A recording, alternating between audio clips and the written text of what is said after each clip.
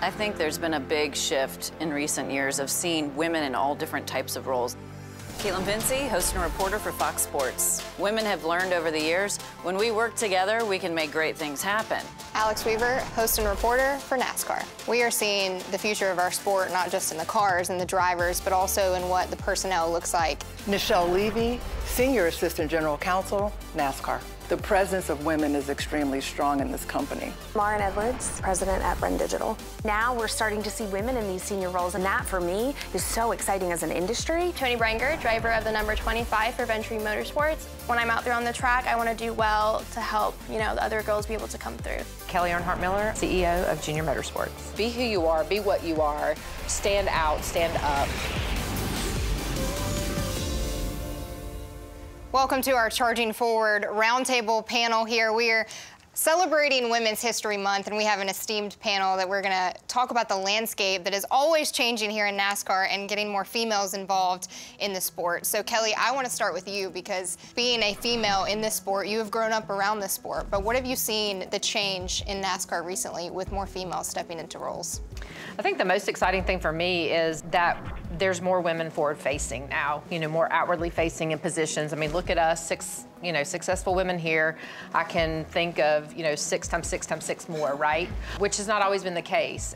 I think sports in general have seen an influx of women coming in with a lot of interest and passion, and NASCAR is certainly included within that. And I think we are seeing a lot of women across many different areas drivers, legal, marketing, PR, hosting, like across so many different areas that women are really leaning into sports right now, and it's really exciting from top to bottom in so many different areas that our sport needs. Toni, from your perspective as a driver, how are you seeing this kind of change taking place? Yeah, I definitely see a lot more female drivers coming in, especially when you go to the local track races. You see a lot of younger girls coming up, which is really exciting and refreshing to see. And I think, you know, in the next five years, there's going to be like a whole new wave of female drivers, and it's going to be really exciting. From the NASCAR perspective, the inside of NASCAR, the league perspective, I've always been truly impressed about the women who have been leaders here. It feels very authentic to NASCAR. Betty Jane France um, obviously had a huge impact on the company, and we still honor her uh, with her own award. Uh, so I just feel like the presence of women is extremely strong in this company. I think so with us too. It's it's always nice to see mentors and bosses and supervisors that are females. There's just a different mindset when you have females in the workplace. Nothing against the males by any means, but it's just nice to walk into an office and know that there's a female that kind of has your back um, and can be a mentor. I think there's been a big shift in recent years of seeing women in all different types of roles, like you guys were talking about. Roles that were not traditionally held by women in the sport of NASCAR engineers, track operators, play by play announcers, drivers. It's, it's all changing, and I think more and more women are seeing there is a seat at the table for them here in this sport. And it's not just checking a box for a woman to be in that role, it's qualified women getting these jobs because they deserve it. Toni was very modest, but she posted a tweet that showed a picture of herself and two women pit crew mm -hmm. members on her team, and she had a top 10 finish that day. So that was three women that essentially came across that top 10 line, I was jumping up and down at my house. so I just think that was, it's not just you as the driver, but you're also supporting that within your pit crew. Yep. I don't look at myself as a woman in sports. The way I came through the sport is my legacy and my heritage and my family, you know. So, but what I think is important about that and what I think about is important about bringing groups like this together is that others see what's achievable. Yeah, Kelly, that's a great point. And Lauren, I just want to circle back to your team because we see your team walking around the racetrack and it's a creative, intelligent group of women that are, are, leading over there with the digital side of things. One, how do you find these creative women and make sure that you're supporting them? But also, why is it important for us as females to continue building other females up in this sport? Yeah, we've been so fortunate uh, at Ren Digital to hire amazing women. Um, I did not set out to own a business um, solely of women. I, I, wanted to build an amazing agency that supports our partners as best as possible. One of the things that I am very passionate about is putting the right person in the right role. And for us, so far, that has been females. We have a female videographer who I just think the world of. She's so creative and brilliant. She's out there with the men on pit road, carrying all of her camera equipment. Um, and, and that to me is so exciting to see. Uh, and as you said, you know, it's exciting to see for everyone in the sport to say like, you know, there isn't a single role here that can't be filled by a female. And Kelly, what about you at Junior Motorsports? I mean, it starts with the CEO is a female, but it trickles down to a lot of powerful women over at that organization too. Yeah, you know, one of the things I think is really cool about Junior Motorsports and being the leader, being a female leader, is I have a different uh, viewpoint of getting up in front of the guys. You know, I'm a 70-30, 70% male, 30% probably women at Junior Motorsports. And, um, you know, there's something to be said about me being able to get up in a, in a group of men and nurture and encourage and cheerlead and, and uh, just being able to bring some of those character traits out that men typically wouldn't bring out, you know, in front of them. And you mentioned leadership. What are some qualities that you look at for a women to have, uh, whether they're leaders or someone that maybe you would hire to be a part of your team? The first thing I look for is substantive skill. You have to be good at what you do. That is table stakes right? So I want people who are coming in who are obviously very skilled. So there's no question that you ought to be in this role. Then I think you have to be able to listen. I want to be inviting and welcoming to people. I want people to feel like I'm approachable, like my door is open to them. I do think I want a team that reflects that as well. I want people who are, are engaging and want to be engaged.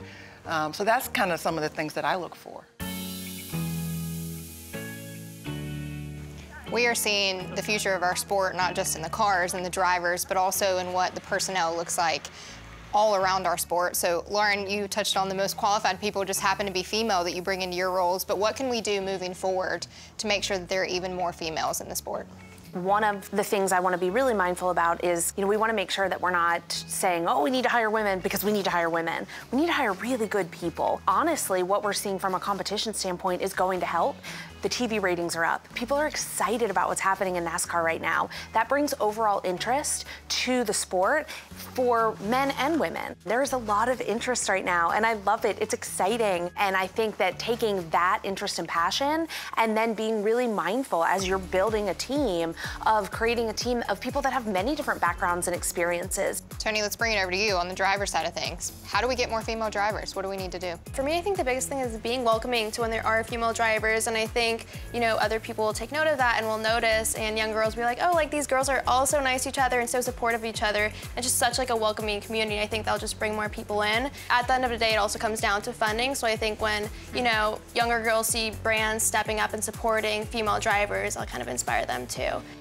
Yeah, I think things flow through, you know, through changes of society, right? If we look back in time where the role was the mom stayed home, they took care of the children, they cooked the meals, you know, and the dad went out and provided for the family. Those roles are obviously changing. That's just a societal shift that's changing. I um, can't cook, so.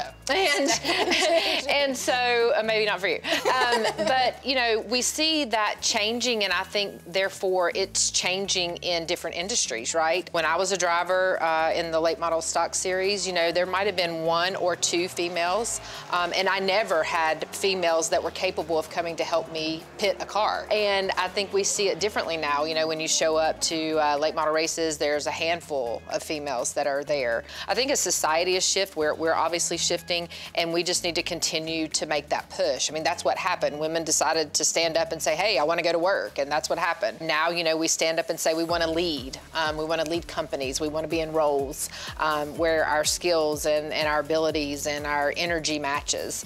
And so, um, you know, I think we just continue to push for those things, right? And like you said, it's always about the best people, good people. And I think we'll just continue to see that shift as we embrace what we're seeing, that then other people will embrace what they're seeing, and then it will just continue that shift and change. And I would just add on that, that, you know, if you can see it, you can be it. Things like this, yes. this is an mm-hmm. opportunity, right? So I, I know when I started in NASCAR, people in my family and my social circle, they didn't know anything about NASCAR. They couldn't understand why I was working here. That's not the case anymore. Uh, people know more about our sport. They know more about the people in the sport, the people behind the sport. So these efforts like this, um, and the Black History Month piece too, all of that exposure shows people that, oh, wow, there's different kind of people that work there. I had no idea that they had women in leadership roles or African American people in leadership roles. And I think things like this help to open people's eyes to what's possible.